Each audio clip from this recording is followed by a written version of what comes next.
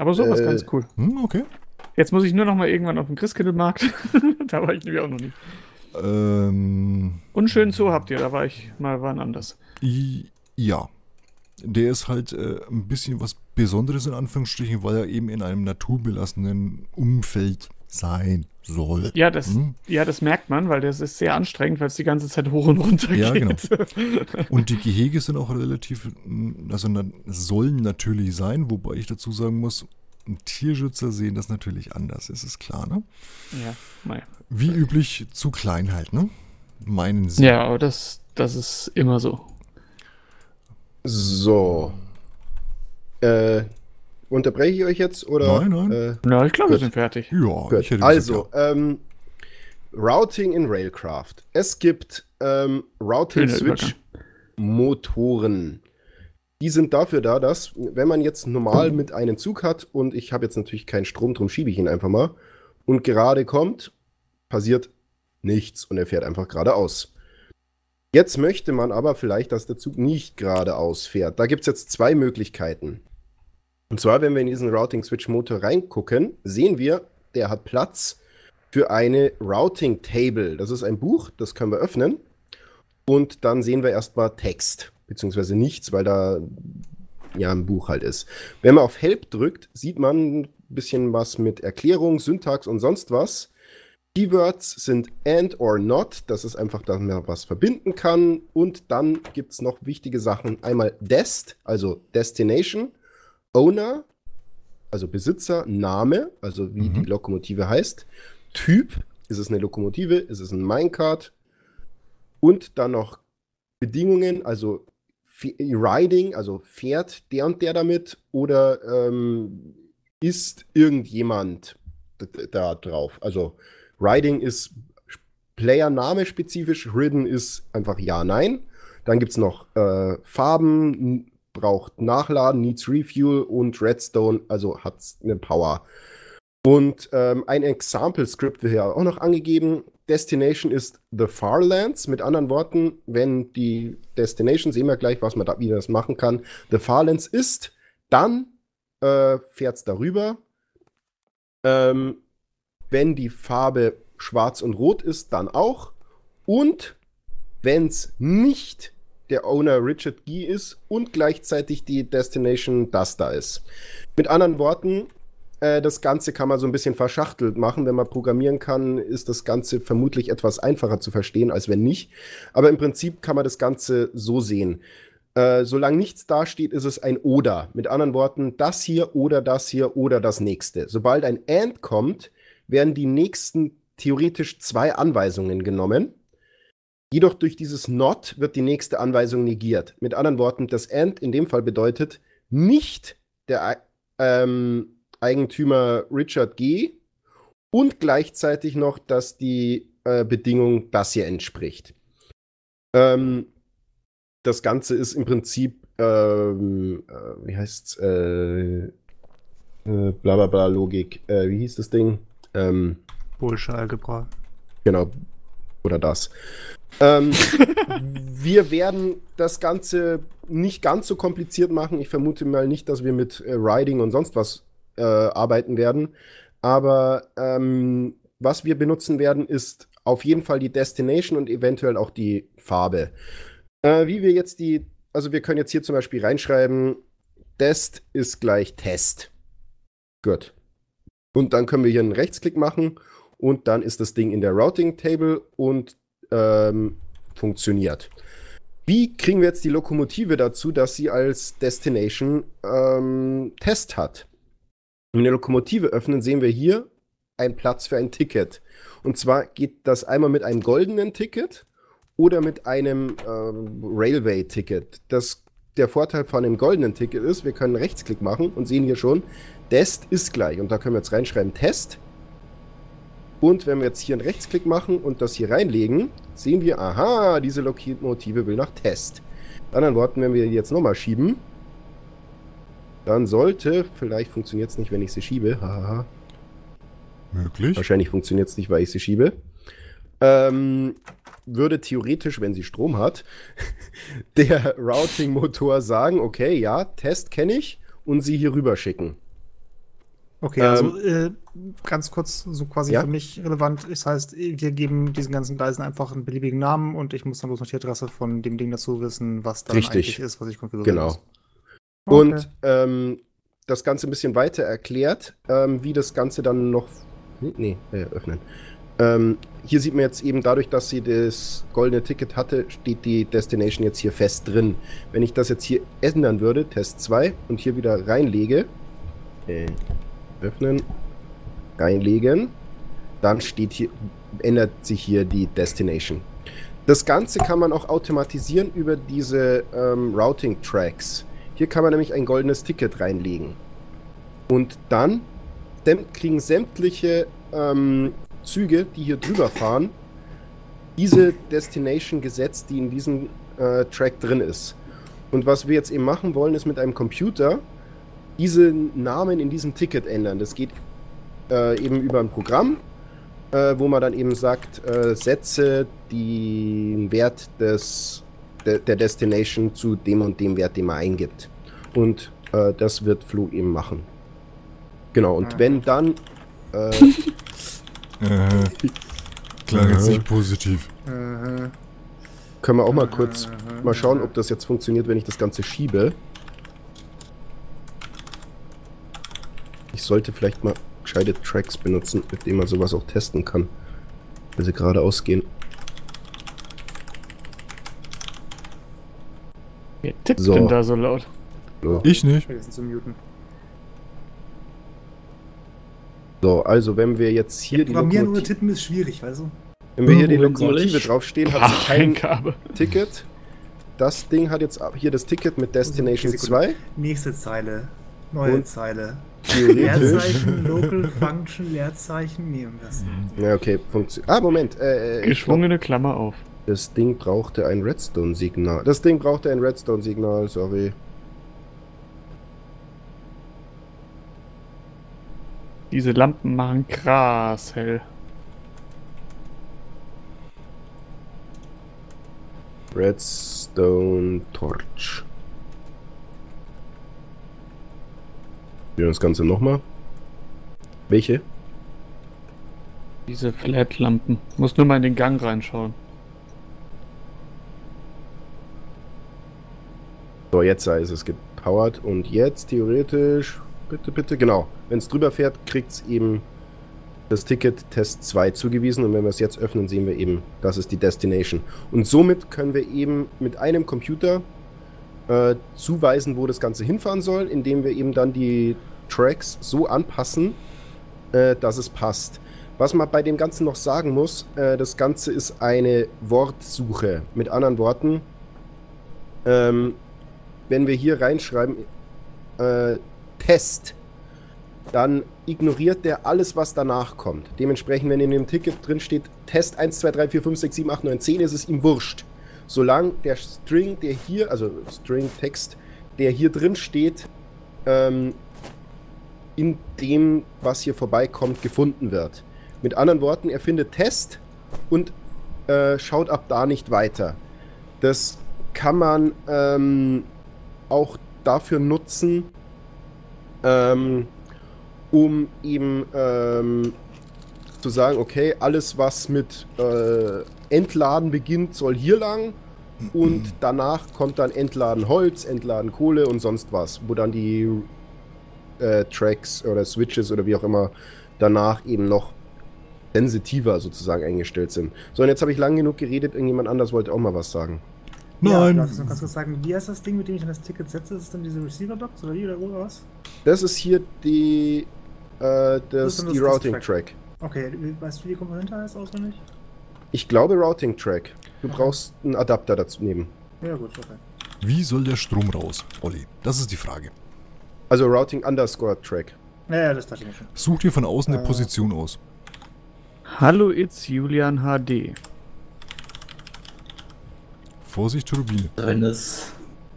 Und weg. Ich hoffe, das war Wenn du es begrüßt geschickt genug. verstecken willst, brauchst du noch eine doppelten, doppelte So, ich Decke. wollte noch ein paar Schienen Wozu machen. verstecken? Electric Tracks. Keine Ahnung. Hm, Doch nicht in einem Reaktorgebäude. Och, ich versteck gern. Ähm, Bakerman, wie heißt nochmal das Texture Pack, die wir verwenden? Das Texture Pack heißt Suartex. Duatex, schreibt man das, dann würde ich es in die S-U-A-R-T-E-X. Duartex. Mhm. Okay. Praktischsten dürfte hier sein. Wo, wo, wo? Da. Direkt über dir. Ähm, kommen wir da mit einem HV-Kabel von Immersive Engineering, beziehungsweise mit zweien raus? Das heißt, wir haben bei Ja, jedem, theoretisch schon. Gut, weil bei dann baue ich das da oben nämlich hin. Nochmal so ein Detektor Okay. Ausgang, oder wie? Länge Ähm, Kabel ich reicht. glaube, der Receiver hier, der Receiver da, der verknüpft ist mit dem Blocksignal, erkennt, wenn er, er schickt ein Signal raus, wenn er, ähm, na, wenn er sich ändert. Also der- ändert sich? Hm? Sich? Moment, Moment, Moment. I show you. Brauch kurz Also das. meine Frage ist bloß, woher weiß ich, wann ein Track wieder frei wird? Von diesem Digital Receiver. Okay. Der schickt ein Event. Und in dem Event steht eben drin, welche Farbe er hat. Und das heißt, wir müssen eine Farbe mit einem Namen von einem Track auch noch verknüpfen. Äh, beziehungsweise die Adresse. Äh, Okay. Welche Adresse? Von dem Ding, was das schickt. Ach, die haben jeweils ein eigenes. Von Ne, die haben- Boxen oder was? Wir haben pro Signal eine Box. Okay, das heißt, jede Box, also wir haben, okay, also die, okay. Also für jedes, wo ich was hinschicken kann, gibt es eine Box und die kann mir sagen, wenn es wieder frei ist. Genau. Okay. Nicht in die. Äh, wie hieß das Ding, was wir brauchten, um zum linken. Ich glaube nämlich, hat- das hat Butze. Nicht in seiner TARDIS, sondern einfach nur so. In der Tasche? Crowbar. Nee, das andere linken. Äh, wo ist es denn? Nicht der Electric Meter, den werde ich auch noch brauchen. Hier, Signal Block. Nein. Okay. Aber vielleicht ist er auch hier drin. Äh, ach da. Der, der, hat doch, der hat doch kein Event, oder? Das heißt, den muss ich pollen. Wer? Der Digital Signal Receiver. Doch, doch, der schickt ein Event, wenn er sich die Farbe ändert. Also wenn Ah, er, okay. wenn die Weißt du, wie das heißt? Äh, steht in dem Handbuch. Nein, Doch. nein. Was? Da Dachte steht ich. bloß das vom Detektor drin, dass der ein Event schickt. Beim Signal Receiver Box steht nichts drin von Events. Ähm, äh, ich kann schnell nachschauen. Mhm. Moment, ich, ich, dann kann ich euch mal zeigen, was ich in meiner Singleplayer-Welt gebaut habe. Oh, Oh, Oh oh. je. Jetzt muss ich ja den Stream anmachen. Ohne Ton. Genau. Sonst wird's dann verwirrend. Sonst wird's verwirrend. 16.000, jawohl. Dann seht ihr auch mal, was ich, äh, was, äh, was da rauskommen soll. Also, wir haben hier eine Lokomotive, Spoiler! Ja, ja, er spoilert hier wieder ganz wild durch die Gegend. die hier fröhlich rumfährt. Und wenn wir jetzt hier den Track freigeben, dann fährt sie immer noch zum Hauptbahnhof. Und jetzt merkt sie, ah, Da müssen wir aber hier der wegmachen. ist ja immer noch frei, genau. Aber jetzt ist er besetzt. So, und drum fährt er sie jetzt zum Nebengleis. Und fährt jetzt hier rein. Wenn ich das auch noch besetze, dann fährt sie zum Abstellgleis, also ganz hinten hin. So, und wenn ich jetzt hier wieder freigebe, Müssen wir dann noch ein bisschen dann fährt sie wieder hier rein. Genau. So, und das Event. Bleib du mal stehen. Ja, Shutdown. Ähm, Das ist eins. das Event heißt Aspect underscore changed. Zwei. Okay. Okay. Gut. So, und das war genug gespoilert. Aha. Mhm, Genug gespoilert. Okay. So, den dritten Ja, was heißt an. gespoilert? Schauen wir mal, wie wir das hier hinkriegen. So, ich wollte noch einen Tuner, genau. So. Dann machen wir den. Ne? Den. Und dann können wir unten noch anklemmen. Genau. So wird ein Schuh draus.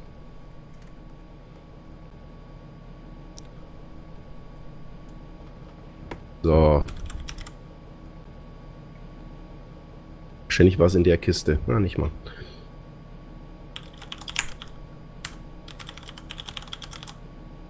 Den hier brauche ich. So, da können wir nämlich jetzt hier einmal sagen, dass das hier. Was steht denn da? Wo kommt denn die Magnum Torch her? Olli, Keine Ahnung. ich hab die da nicht hingesetzt. Oh, Wäre denn- Flo, hast du gerade Stone? Clean Stone? Ich habe gar nichts. Weil hier wäre ein Block, der rein müsste. Daniel, du hast okay. da garantiert hab Stone. Gar nichts. Brauch mal einen Stone. So, ganz kurz zur Erklärung, was wir hier gemacht haben. Äh, die Graphene Battery hatten wir vorhin ja ganz kurz uns angeguckt. Die Graphene Battery gibt uns in Summe Graphene Battery hier äh, kann maximal 1,1 Terajoule speichern und emittiert maximal 1024 Ampere mit 16.384 Volt. Das entspricht dann einer Leistung von 16,777 Megawatt. Die 16,77 Megawatt kann man hier abgreifen. Wenn ein positives Redstone-Signal anliegt, wird hier am oberen Punkt Energie abgegeben über das Kabel in den Induction Motor. Im Induction Motor wird aus der elektrischen Energie Bewegungsenergie, also quasi wieder Rotary Craft Energie, die in einen Rotational Dynamo weitergegeben wird. Ähm, soweit, so gut. Und hier bekommen wir dann RF raus. Ist okay soweit. So, da muss man aber noch eine Kleinigkeit beachten. Und zwar machen wir mal hier das, das Cover weg und dann können wir hier eventuell den Schalter da. So, und zwar diese Rotational Dynamo, der jetzt ein bisschen Gewerch macht, sagt uns nämlich, Conversion Limits exceeded, Power is being wasted. Glücklicherweise geht er nicht in die Luft. Riesengroßer Vorteil. Ähm, bekommt momentan 16.777 Megawatt mit 2048 Rad. Das ist das, was die Induction Motor hier ausgibt. Ähm, den kann man noch upgraden mit einem Flux Amplitude Upgrade. Entschuldigung. Aber trotz allem müssen wir uns das nochmal im Handbuch angucken. Weil der hat nämlich gewisse Limits und ich glaube, da hatte ich was übersehen gerade. Oder vergessen, wie auch immer. Wollen wir gleich mal gucken. Nachdem wir mal eine kleine Runde geschlafen haben. Shit. Daniel, Mhm. Bitte Stone. schlafen. Wenn ich den Cleanstone-Lieferant.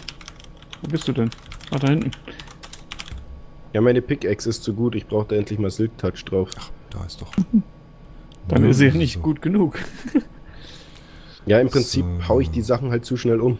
Äh, Und dann gucken wir hier bei allem, weil Processing. die Gleise halt nichts aushalten. So dieses. Äh, nur Gleis, nein, Scheide.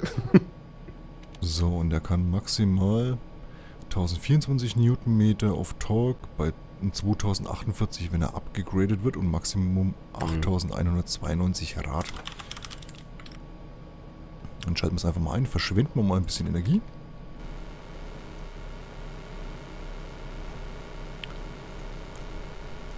Die 2048 Rad haben wir.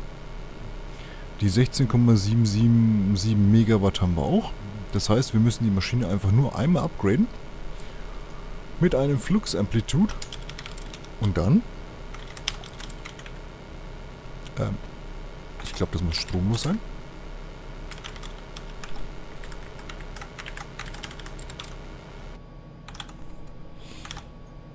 So, jetzt ist es upgraded. So. Und wenn wir jetzt nochmal schauen, steht hier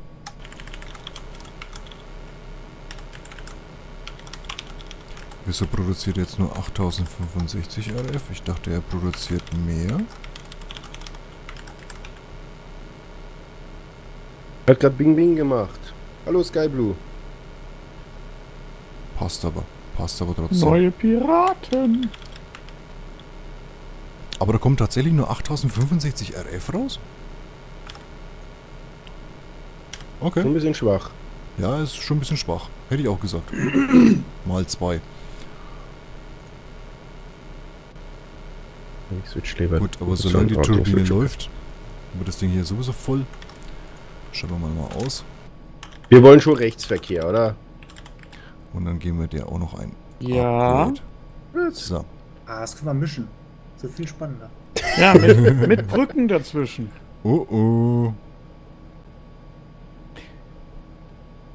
Das war übrigens, das ist, ähm, als ich noch So. nicht wusste, vor langer, langer Zeit, dass, als ich noch nicht wusste, dass England tatsächlich auf einer eigenen Insel ist, ich aber schon wusste, dass es Rechtsverkehr, äh, dass es dort Linksverkehr gibt, habe ich mir mal ausgemalt, wie da die Brücken sein müssen, wie die an, an der Grenze.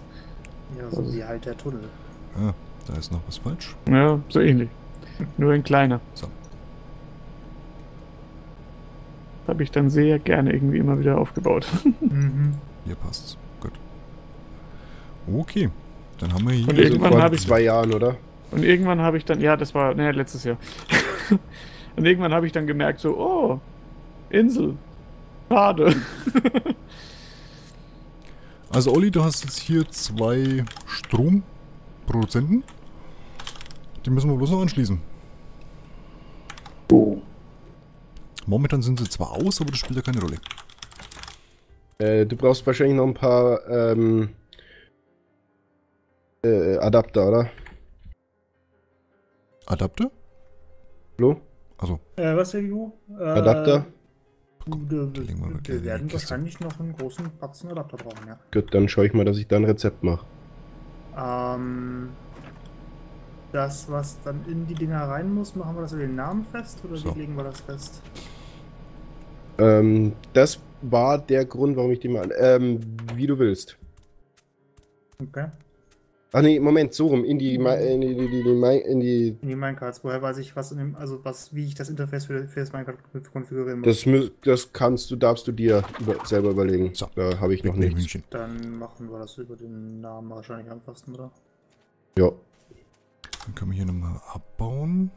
Genau, bauen wir mal ab. Hallo Damon.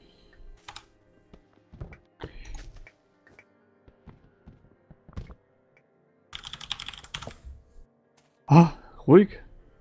Ruhig? Redet keiner. Hm. ja, tut mir leid, ich muss denken, da kann ich nicht reden. Das war heute noch nicht lang und noch Okay. nicht oft genug der Fall, dass keiner was sagt. Ja, Äh, ja, Ja, es ist immer geben. geballt. Hm? Es ist ja immer entweder wollen alle gleichzeitig reden oder. Was habt ihr gesagt? Hä, was? Wie? Was? Hallo? Hallo? Hm, Das schmeißen wir auch weg. So, Adapter wären als Crafting-Ding verfügbar. Dann können wir das Zeugs hier. Stehen jetzt wieder richtig und dann können wir die auch wieder. An Mr. L. Loki. Äh, ja, Mr. man, auf die andere, wie man auf die andere Seite kommt, ähm, wissen wir noch nicht. Da arbeite ich noch dran. Also Kriegen. Bahnsteigwechsel sozusagen. So. Ich glaube, es wird, ich glaube, es wird ein Tunnel aus Platzgründen. Das Signal Block is not valid. Oh, den da wollte ich. Aha. Aber guter Punkt, das hätte ich fast vergessen. Aber eigentlich ist Der es viel spannender. Cool. Was, warum, So. warum da jetzt diese mittlere? Achso, zum Durchfahren quasi. Genau, das mittlere ist die Durchfahrtsspur. Ähm, die Ränder sind die Haltestellen. Weg. Raus. Und dann kann man hier. Das heißt mit anderen Worten, wenn hier einer steht, dann kommt ja da kein, da kommt der nicht vorbei, oder? Wenn hier einer steht, wo du gerade bist, genau, Ja. Dann kommt da niemand durch, dann sollte auch das Signal hier rot sein und dementsprechend kommt da auch niemand rein. Okay, das heißt, das sind aber jetzt nicht vier Gleise, sondern eins. Es ist ein Gleis hier, ein Gleis hier, Mhm. also Bahnsteige, ein Gleis Gleis hier und ein Gleis hier. Also es sind insgesamt vier. Okay. Charcoal. Wie lang sollen die Züge werden? Ja, schauen wir mal. Also natürlich, die werden nicht komplett das Ding machen. Aber ich dachte mir, es ist. Äh, ja, wir können das Ganze auch nochmal in der Mitte aufteilen und verdoppeln. Aber äh, ich dachte mir, es ist ein bisschen doof, wenn wir so 15 nebeneinander haben. Ja, also halbieren würde ich schon nochmal. Da Diese muss ich jetzt die. Flo, Hm? der Daniel will halbieren. Halbieren. Äh, was? Die Gleise nochmal halbieren. Äh, ändert das irgendwas für mich? Nö, nur dass es doppelt so viel wird. Das ist mir ja prinzipiell egal, nicht? Richtig. Solange es nicht mehr als 64 Adapter werden. Ja, sollten, denke ich nicht. Also, ja. ja doch. Aber ich glaube, es war richtig, dass ich den Server gecraftet habe, oder? Wenn wir jetzt das Ganze nochmal verdoppeln, wahrscheinlich schon, ja. Er will, Dann Sag, ein, sagt- sag einfach ja, dass wir da hören. er, Ja, will ja, ja, ja. er will die Das Absolution super. haben, dass das hast du du hier. toll gemacht. Ich bin Genau. stolz auf dich. Hui! Äh? Daniel, dann sag dir doch bitte mal, wo Hier die Mitte ist. Leckerli. Ich, Wo, ich höre dich wo, nicht. wo, wo? Apropos, ich hab Durst. Ja, meins, meins, meins, meins, meins. oh, da liegt Wolle. Äh, okay. Aha. Entschuldigung. Wir spielen kein Bingo, wir spielen Ich kein weiß. Bingo. Äh, Daniel, wo ist die Mitte? Äh, Wenn ich mich nicht ganz vermessen habe, ist, teile ich es gerade da ist hier noch auf. Das ist sehr vermessen von dir. Da ist noch unsere Teststrecke. Da haben wir noch ein bisschen. Material.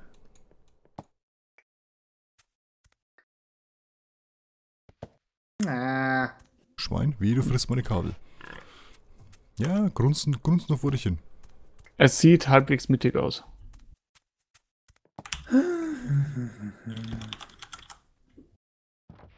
Ich bräuchte noch äh, Routing. Routing.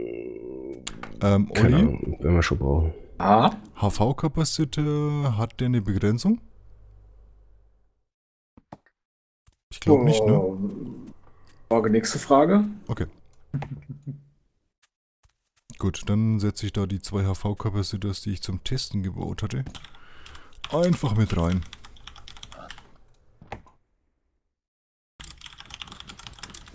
Ja. So. Schließen wir doch den ganzen Kram mal an.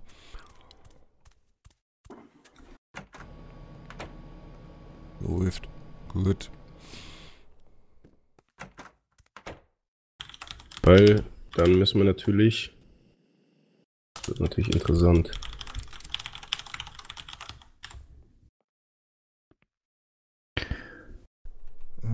Töten die elektrischen Gleise?